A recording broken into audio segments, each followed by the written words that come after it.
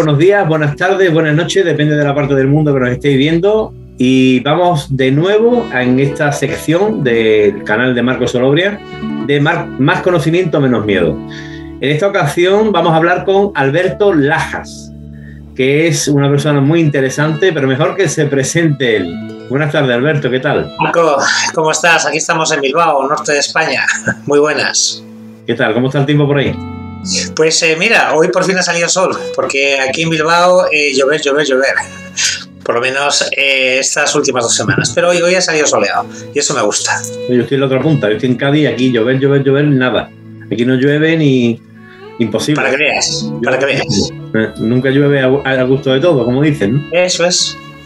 Bien, pues esta tarde vamos a hablar de un libro que ha sacado Alberto, eh, que creo que es bastante interesante porque habla de todo este tema que nos, nos interesan a todos, ¿no? El tema de la mente subconsciente, cómo reprogramarla, eh, cómo cambiar esos hábitos, ¿no? Eso, ese tipo de cosas o de engranajes, diría yo, ¿no? Que va acorde con el libro eh, que hacen que actúes de una determinada manera en tu día a día. Y a veces no son como quieres. Entonces, pues háblanos un poquito de, ¿Cómo se llama el libro? Pues mira, Marco, el libro se llama Método Reprograma tu vida. Este es eh, uno de los libros más largos, más gordos que he hecho, eh, porque tengo en los 40 o 40 y algo libros que he publicado, pues este era el libro eh, que yo quería sacar. Es de esos libros que siempre dices, voy a sacarlo mañana, voy a sacarlo mañana, pero no lo sacas porque lleva mucho trabajo. Y sobre todo porque eh, son tantas las técnicas que yo trabajo que eh, es difícil escoger cuál es mejor, porque en principio todas son buenas dependiendo de la situación y la persona. Entonces, bueno, eh, después de unos dos años o así, recopilando, digamos, aquellas técnicas que han tenido éxito en mi vida y en mis pacientes, pues salió este libro que se basa sobre todo en enseñar, este libro enseña, un poquito lo has dicho tú, cómo utilizamos un 3-4% de lo que llamamos consciencia la realidad, pero nuestra vida, nuestro mundo está basado en el subconsciente. Y es ahí en el subconsciente, en la mente subconsciente, donde viven los miedos, las eh, creencias, lo que creemos que es verdad, pero no lo es. Es decir, todo, todos nuestros éxitos y fracasos dependen en su totalidad en, en, lo que hay en nuestro subconsciente. Entonces, el libro lo que enseña primero a reconocer esta verdad, que no es, una, no es algo que yo, que yo afirme, porque son cientos los, las personas, maestros que lo, han, que lo han certificado, desde Joseph Murphy hasta muchos otros, ¿no? Entonces el libro enseña primero que tenemos una mente subconsciente donde viven nuestras eh, realidades y que podemos aprender a, vamos a decir, desprogramar para programar de nuevo nuestra mente subconsciente para conseguir aquello que, realmente queremos. Lo que podemos decir que realmente eh, la persona que no consigue aquello que quiere es porque está programada erróneamente. Claro, date cuenta eh, de que somos eh, personas de costumbres y eh, por la educación, por la religión, por mil, mil situaciones, por el país. Por ejemplo, los hinduistas pues no piensan igual que los, los católicos, ¿no? Es decir, dependiendo del sitio, la ciudad, el país, la religión, la creencia, y muchos otros factores hacen que seamos como somos.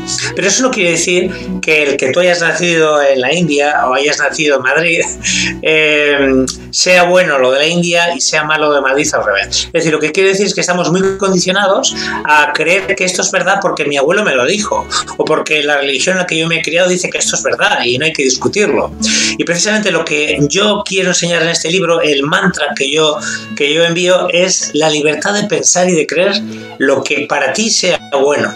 Para mí la verdad, cuando me han preguntado alumnos, ¿qué es la verdad? La verdad es aquello que te hace sentir bien, libre, feliz, sin que tengas que depender de nada ni de nadie. Es decir, esa palabra que a mí, por ejemplo, no me gusta nada, y, lo voy a decir con todo respeto, pecado. La palabra pecado va supeditada a lo que es bueno y lo que es malo. Pero es que ese concepto de bueno y malo es muy, muy complejo y muy, muy largo de, analizar. ¿no? Entonces, eh, lo, lo que yo quiero enseñar con este libro, lo que he querido siempre enseñar en mis cursos y terapias, es la libertad de pensar y sentir en tu verdad que lo que te han dicho en un momento dado quizá haya sido bueno para tu vida. Pero si ahora eh, no eres feliz, es porque hay alguna verdad de esas creencias o de esas verdades que, están, están oponiéndose a lo que es tu, verdadera libertad. ¿no? Es decir, tenemos que aprender a ser libres en pensamiento. En el momento que consigamos eso y que no dependamos ni de políticos, ni de religiosos, ni de nadie, eso es lo que yo llamo libertad. Marco. Bueno, realmente el, mayor condicionante, ¿no? Pues siempre decimos que es que la política, es que la economía, es que el trabajo, es que mi familia, es que. No, buscamos esos, esos condicionantes externos ahí, pero realmente el condicionante más poderoso o el más potente es aquel que tenemos instalado o instaurado dentro de, de nosotros mismos, ¿no? El que podemos cambiar nosotros mismos realmente. Tú fíjate, em, eh, Marco, que si vas a una cafetería o vas a la tienda, al supermercado o donde vayas, casi la conversación que, se, que escuchamos repetitiva casi siempre es qué mal está la economía, fíjate la pandemia, eh, los políticos, qué corruptos son. Entonces, todas esas informaciones que escuchamos, aunque creamos que no, se quedan guardadas en la papelera de reciclaje, ¿no? En nuestro subconsciente. Todo lo que escuchamos, eh, mientras no digamos lo contrario, el subconsciente no entiende lo que es verdad y mentira. El subconsciente no tiene concepto del tiempo. No sabe si ha pasado, si ya está pasando o va a pasar.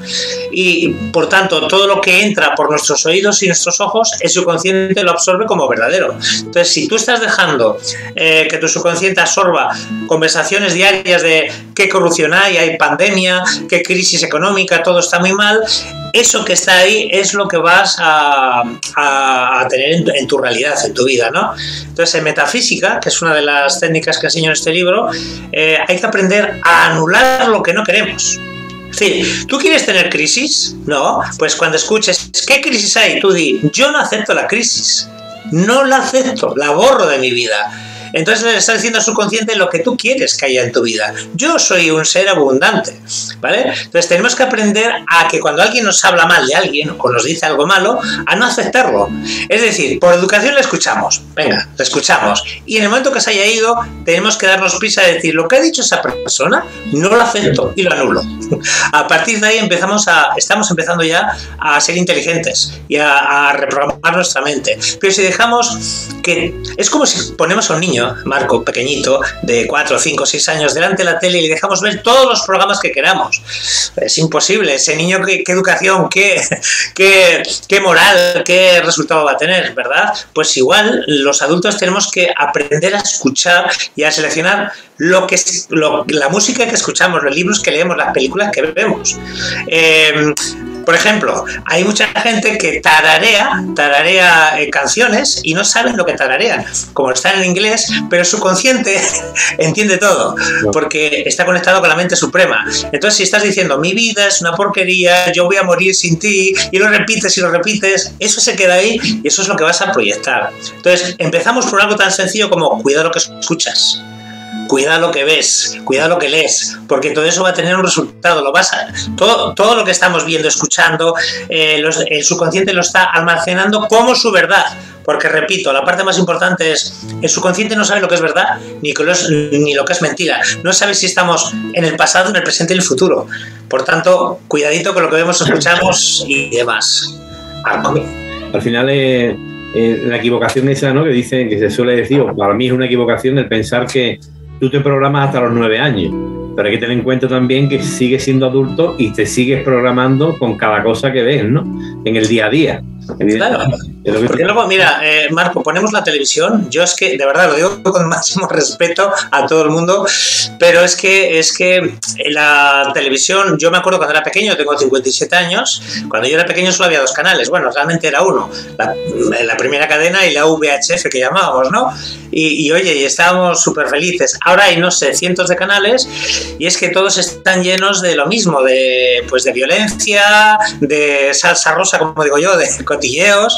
Es decir, entonces la gente pasa una gran, mayor parte del tiempo en la televisión o en el, en el teléfono, ¿no? Con, el, con las redes sociales. Entonces, vuelvo a insistir, igual a veces me puedo poner muy pesado, pero como he descubierto en mi vida esta gran verdad de que lo que vemos, escuchamos y leemos, todo eso influye en, la realidad que, que tengamos, pues a partir de que seleccionemos y no permitamos ciertas cosas, tan fácil como dijo Connie Méndez, anulo y no acepto esto.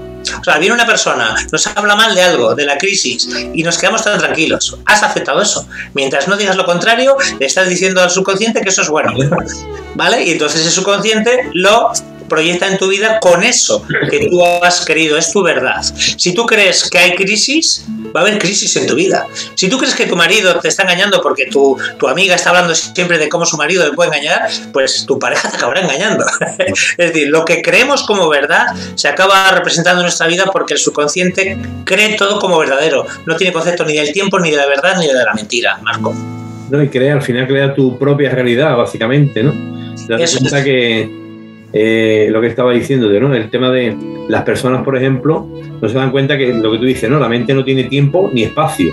Por eso, cuando tú piensas en algo eh, del pasado, te empiezas a deprimir, ¿vale? Y cuando estás ansioso es porque estás proyectando una posible realidad de ese futuro que supones tú que a lo mejor te pasa, pero que quizá no ni siquiera suceda.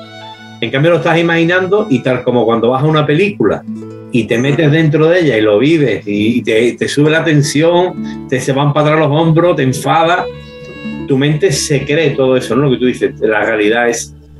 Eso es. En, el libro pongo un ejemplo que lo he puesto en muchos cursos y en muchas conferencias que he dado, que es bastante gráfico, que es el, el, ejemplo que fue real de, en una cárcel, creo que fue en 1930, en una cárcel de Estados Unidos, pues iba, estaba condenado a muerte un preso a la silla eléctrica y tú sabes que la silla eléctrica pues a veces eh, fallaba y la persona, el preso, la, el condenado a muerte sufría, ¿no?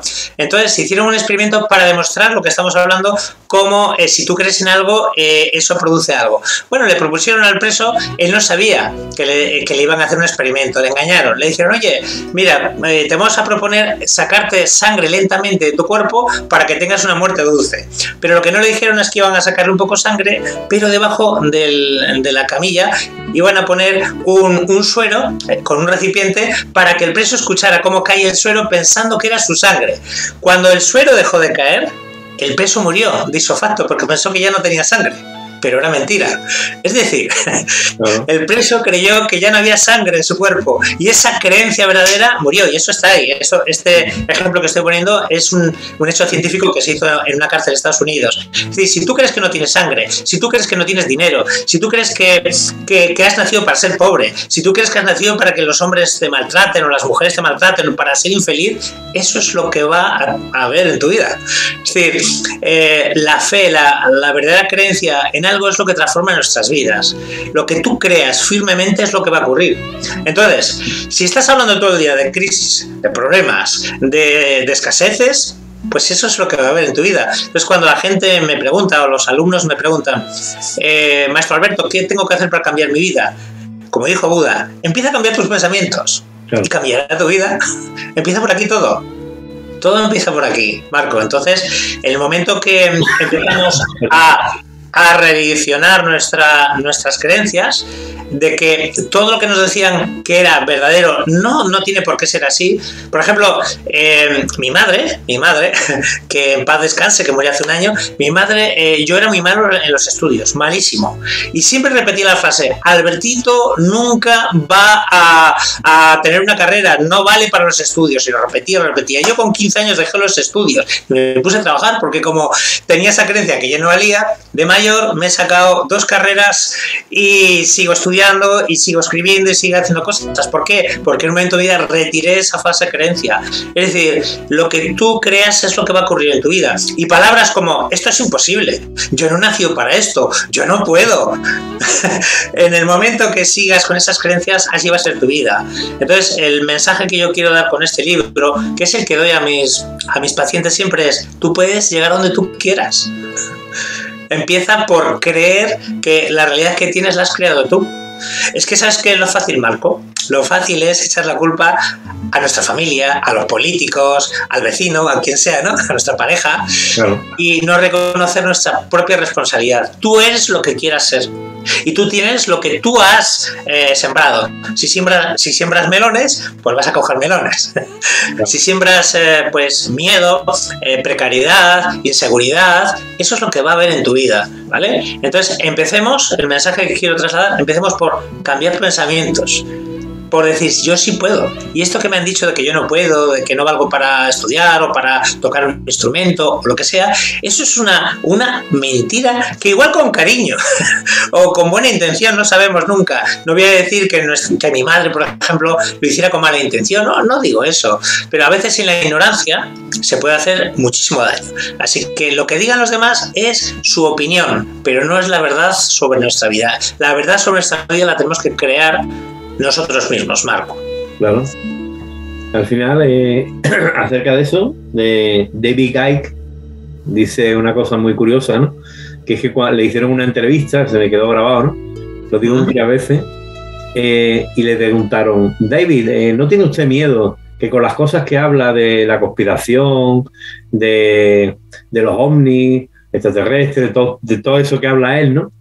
Eh, ¿no tiene usted miedo que lo quiten de en medio, que lo maten? Y dice, no. Dice, porque yo no permito eso en mi realidad. ¿Vale? Entonces, es lo que tú dices, ¿no? Eh, ¿Qué es lo que estás pensando? Y te darás cuenta, o sea, más bien, date cuenta de lo que tú dices, ¿no? Lo que tienes en tu vida y te darás cuenta de lo que estás pensando acerca de eso. Hay, una técnica que explico en el libro que es la dieta mental, es una técnica metafísica que se trata, eh, parece una estupidez lo que voy a, proponer, se trata la dieta mental en que al menos una semana, fíjate que ya no digo un mes, una semana durante siete días apuntes de día a día que durante una semana en ningún momento puedes ni hablar mal, ni pensar mal, ni escuchar nada malo. Y si lo escuchas, anularlo en el momento. Siete días. Y pasados siete días, a ver qué ocurre. o sea, la dieta mental eh, de Wallace, que fue uno de los maestros, eh, vamos a decir, eh, del cambio de pensamiento, el nuevo pensamiento, Wallace propuso la, dieta mental de siete días porque estamos rodeados de negatividad, Marco. Todo el tiempo viene la cuñada, el amigo, la vecina, hablando de, pues eso, de, lo mal que está todo. Ahora la pandemia, imagínate, no, Uf, qué mal está con la pandemia todo. Entonces todo eso crea, como he dicho antes, un, un, ambiente, en nosotros una creencia de que todo está mal. Y mientras tú creas que todo está mal, tu vida estará mal. Es decir, hemos pasado dos guerras mundiales y otras guerras y otras crisis. y estamos aquí. Es decir, el, eh, Albert Einstein dijo que de las mayores crisis podemos sacar las mayores bendiciones, porque es en las crisis, cuando estás abajo, cuando aprendes a reinventarte, aprendes a sacar aquello que ni sabías que estaba en ti. Como estabas acomodado a una nómina, por ejemplo, en un puesto de trabajo, a que todo te lo diera más o menos hecho, cuando no tienes nada y te lo tienes que buscar, dices, anda, si soy capaz de hacer esto, tal cosa, ¿no? Entonces, las crisis son buenas.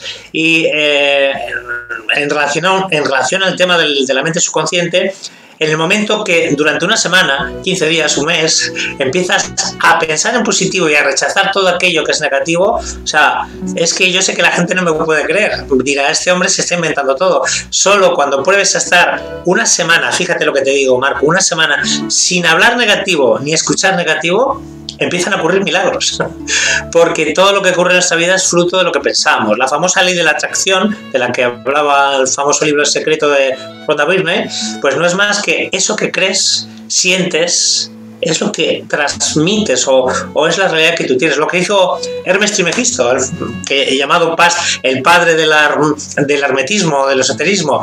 Lo que es arriba es abajo, lo que es adentro es fuera. Es decir, todo lo que pensamos sube arriba y ese pensamiento que es energía vuelve abajo materializado en algo. Entonces cambiemos los pensamientos y cambiará nuestra realidad, Marco. Esto es lo que yo llevo experimentando tantos años. Me parece súper interesante el tema.